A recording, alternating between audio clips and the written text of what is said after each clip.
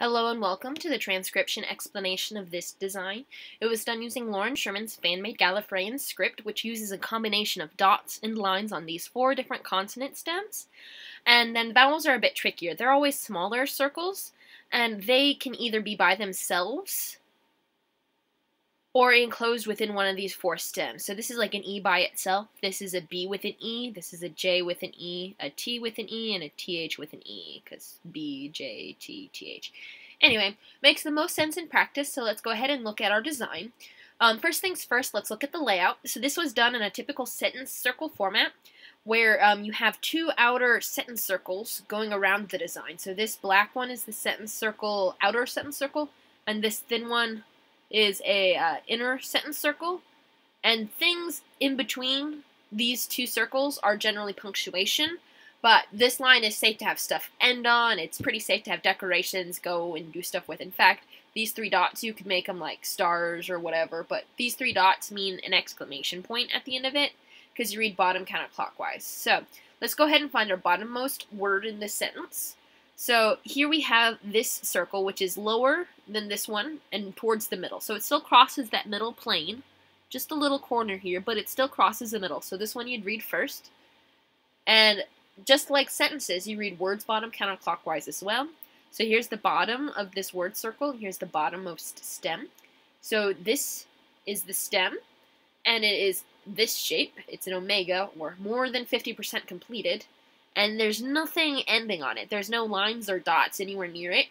Um, and uh, yeah, so this is just a B. And then inside it, we have a vowel. It's a smaller circle. And it is right inside it. So uh, that would be, if we're looking at the B stems, A's would be outside, O's would be like a beat on the string. U's have a line going outwards, I's have a line going inwards. So this is an E. So B, E, continuing around.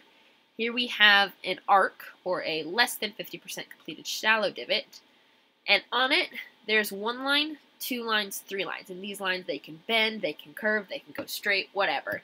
But lines that end on the stem count for this. So don't let any lines end on this. It's safe to have lines end here, lines end here, lines end here. But as soon as they're on stems, they count. So this has three lines, so that is an S. Continuing around, here's another of that same stem with nothing on it. So that's a T. So B E S T, best. Then continuing around, Here's our next word circle. Oh, and these divots, they're just like decorations. They can kind of go wherever, do whatever. They don't really count for anything. They're just kind of where you would put punctuation or make punctuation look nice on the sentence circle. But anyway, here's our next word here. So here's the bottom of it. Here's our bottommost uh, letter and it is this completed circle inside the word circle. So this is the word circle arc, a completed circle inside that here, and it's got one, two, three, four dots. So that makes it a C. Now you're not supposed to use the letter C unless it's a proper noun, but because you're like describing the West Coast as the best coast, it's like the name. It's not like just uh, just any old coast. It is coast, like proper noun. Um, so I use the proper noun capital C here. Um, so C and even though lines pass through it, so these lines passing through it don't count. Only lines that end on things count for lines here. But this is an O. So like a beat on a string, or in this stem, let me go find, yeah, this stem, like a beat on a string. The O is hanging out on the line of the stem. So C, O, continue around. Here's another little vowel that's hanging outside the word circle, so that's an A. And then we have this arc here, which is another shallow arc, um, shallow divot like this. And let's count the lines and dots. So one line, two lines, three lines. So that's another S, just like this S1, 2, 3 on an arc. And then we have that T at the end, just like that T there. And then we have an exclamation point at the end, which I've kind of talked about already.